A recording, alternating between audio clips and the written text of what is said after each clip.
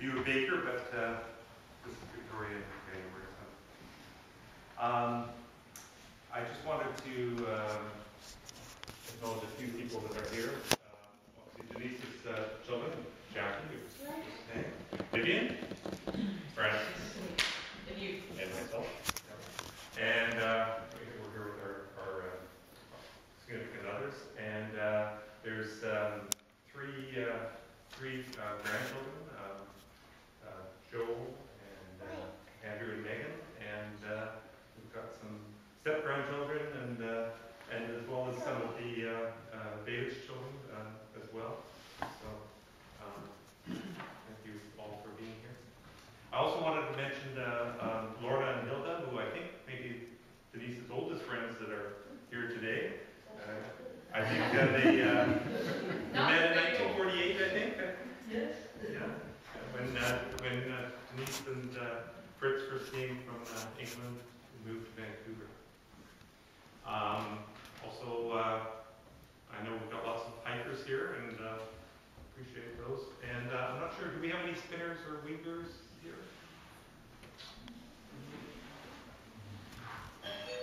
Oh, maybe. You called?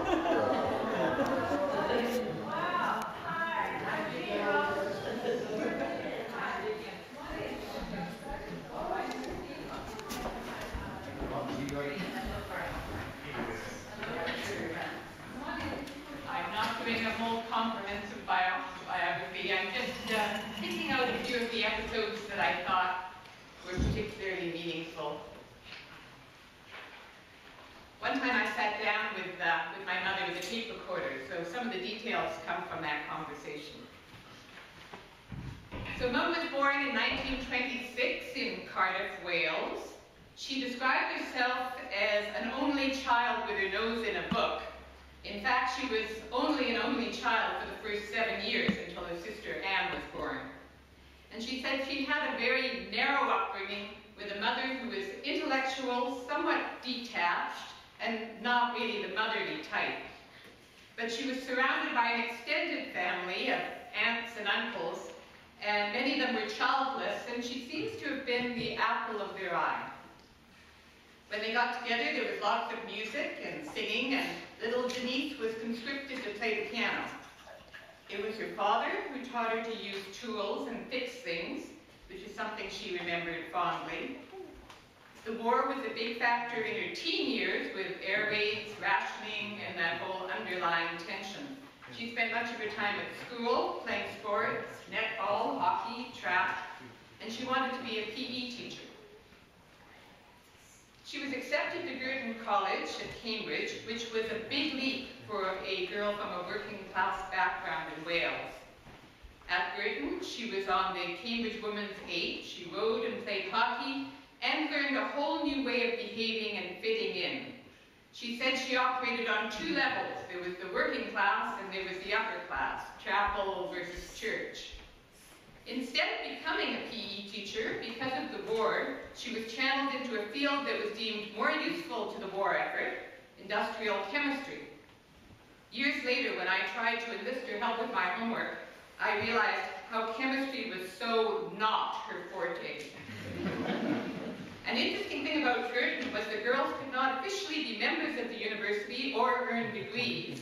Instead, they got a piece of paper which more or less indicated that they would have had earned a degree had they been a man. 54 years later, Mum was invited back to Girton for a ceremony at which they finally received the degrees that had been denied to them. It was while at Cambridge that that Mum joined the Ramblers Club, where she met my father, Fritz, who was a very bright, penniless German refugee.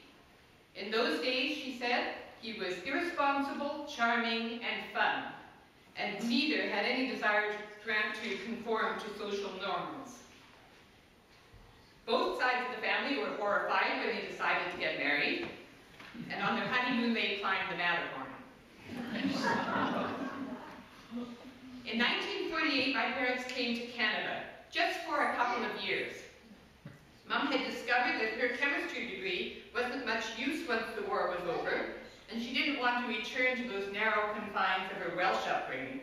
She thought Canada sounded more exciting, at least judging from drawings that she'd seen of teepees and Hiawatha and grey owls. She says, my father asked whether the housing they would be provided with at UBC would be a nice little teepees. Dad landed a job at UBC's physics department, and my mother did some first year teaching in chemistry and physics, I think. And uh, they started having children. They never planned on having four of them. In the late 50s, after my parents read The Curve of Time, I don't know how many of you know that book, about a family that spends a lot of time exploring the BC coast by boat. They bought a hulk of a boat themselves and fixed it up, a 29-foot wooden inboard called Lillibet. We kids had bunks in the forecastle while Kevin, who was still a baby, slept in a cupboard with a sliding door so we wouldn't fall out. We took friends out for day trips, and the Kendalls shared that boat for a time. We explored the coast as far north as Bella Coola. Mom loved the boat. She called it a big adventure, but it was also somewhat hair-raising, as my father liked to keep to his schedules and was impatient with bad weather. And one time off Campbell River, my mother threatened to jump overboard and swim to shore if we didn't turn back. We had to sell a little bit to buy our first house. So there she was, raising four children, a frustrated housewife who really wanted to go back and get training for a job, increasingly unhappy with her marriage, often sick with the stress-related stomach ailments that plagued her from that time on. I don't know that she was happy, but there were long road trips and camping trips. My mother had a, a system of putting the diaper pail with soap and water on top of the car so the diapers would be washed by the time we got to our destination. we spent summers in the Okanagan, where we got to laze on the beach and work on our suntans while my father worked at the radio uh, observatory nearby. Mom supervised our music lessons, taught us to sew, took my preschool-aged brother on long walks while we were in school, and she was a good mother. She didn't interfere much, she didn't nag or lecture, but we always felt that she was there for us. Well, usually. I remember she'd often have her nose in a book, and we'd say, Mom, Mom, Mom! She was a chain smoker back then, and all the neighborhood kids would gather around to watch her use her very cool cigarette-making machine.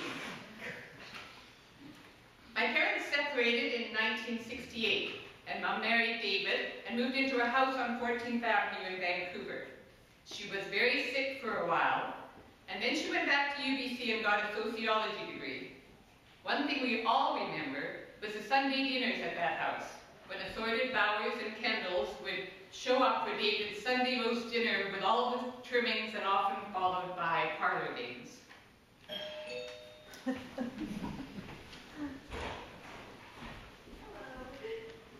In and welcome. In the mid-70s, Mom and David moved out to a holly farm in Aldergrove. Sorry, a hobby farm in Aldergrove. a holly farm. It was old MacDonald's farm reincarnated, with a milk cow called Susie, cattle that all had names, goats, chickens, pigs, and various cats and dogs, including an emotionally disturbed beagle. My mother made soap. It was hardly a model farm. Uh, makeshift fences were always falling down. And one time I com commented on a handy fabric cover that Mum had put on the base of the gearship knob in the rusty, rusty Datsun pickup. And Mum said, oh, that's a goat's udder bag. but it was a great place to visit, they were convinced that come the collapse of the world, all mums and David's children would retreat back to the farm to live. And uh, she was almost disappointed when that never happened.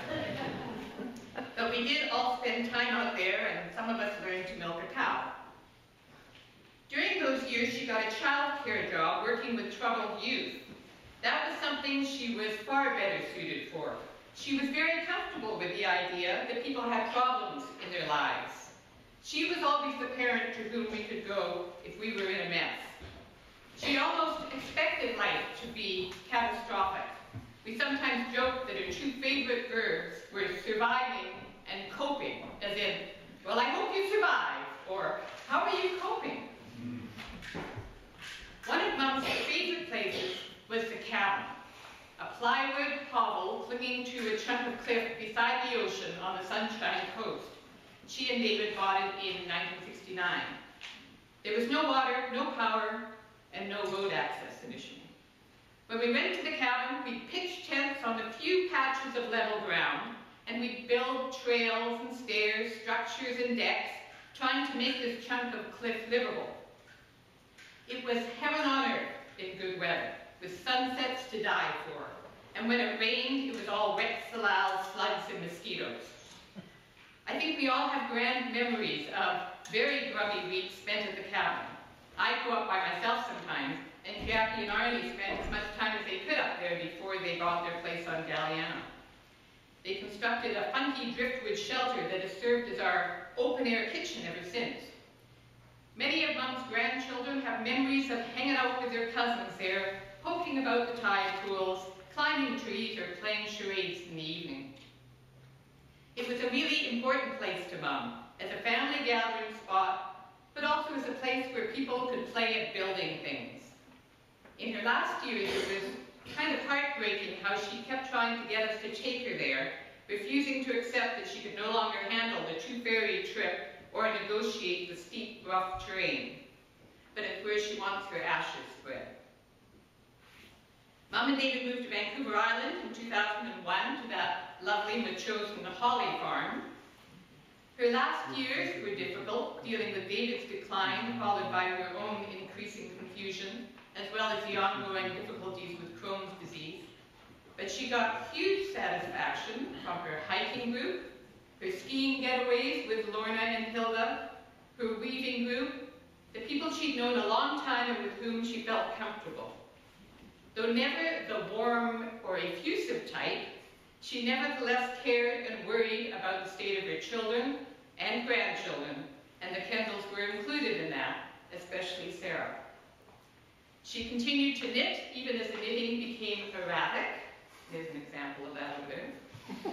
She was gutsy, independent, opinionated, capable. She loved gardening. She railed against social injustices. She liked it when her kids sang together rather than engaging in noisy political arguments. And there was never an emotionally disturbed or idiosyncratic dog or cat that she didn't love.